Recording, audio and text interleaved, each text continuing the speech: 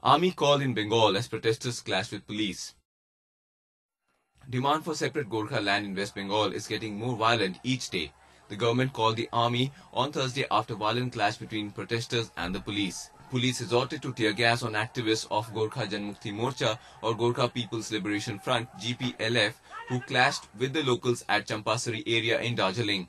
Dozens of people were injured. The state government has called the army and invoked prohibitory orders.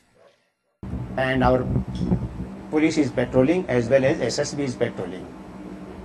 And 144 has been in- promulgated at in uh, uh, Pradhan Nagar as well as Siliguri police station. Yeah. The clash occurred when the locals in Champasari protested against GPLF's demand for separate state. Supporters of the ruling communist government said Gorkhas had beaten up tourists in Siliguri and called for a parallel strike. Supporters of the GPLF asked tourists to leave Darjeeling town to avoid getting caught in the strike. Tour operators have also warned tourists to avoid Darjeeling for the time being. State chief has also urged people to remain calm. Puri শহর এবং শহরের পার্শ্ববর্তী বিভিন্ন অঞ্চলে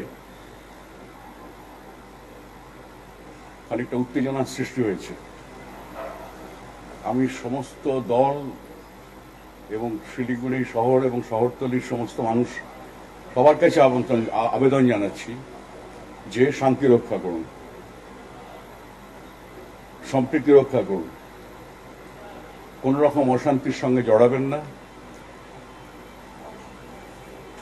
এই মুহূর্তে এটা খুবই গুরুত্বপূর্ণ। শান্তির আবেদন জানাচ্ছি সবার কাছে। দুই, পরিস্থিতির অবস্থা বিবেচনা করে আমি সামরিক বাহিনীকে নামতে ব- বলেছি Gorkhas, who are ethnic Nepalese, are demanding for a separate state called Gorkha land in West Bengal to protect their culture and heritage. Nitin Vitritika for ANI.